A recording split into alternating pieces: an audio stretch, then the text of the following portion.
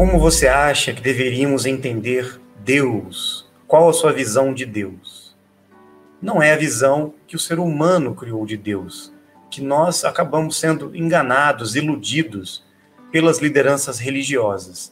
Eles manipularam toda a informação divina que chegou na Terra. Confundimos né, a presença de Deus com alguns seres que eram muito mais evoluídos em tecnologia e conhecimento do que nós, como se eles fossem deuses ou o próprio Deus. E não eram os Anunnakis. Já falamos sobre isso algumas vezes.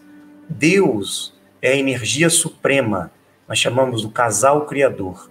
É uma consciência, é um casal, são dois seres que estão plenamente manifestando o universo que eles criaram.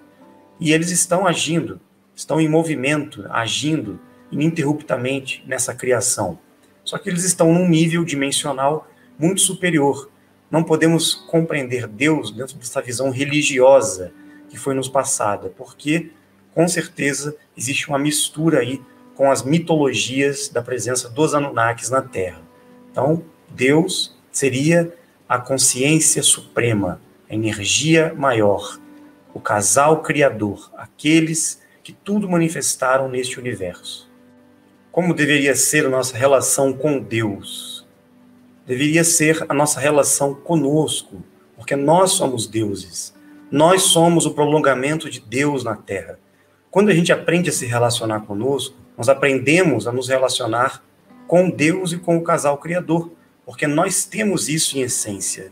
Então, o segredo está em nós. O segredo da vida e de Deus está dentro de nós. O que podemos fazer quando queremos ajudar alguém? Pedir ajuda a Deus não resolveria? Não.